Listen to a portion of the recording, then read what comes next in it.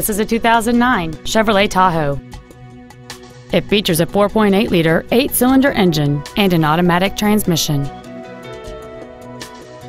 Its top features and packages include a double wishbone independent front suspension, a low tire pressure indicator, XM satellite radio, alloy wheels, roof rails, and traction control and stability control systems.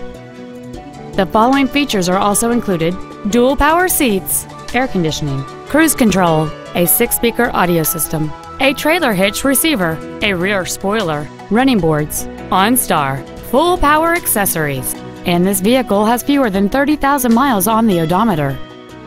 We invite you to contact us today to learn more about this vehicle.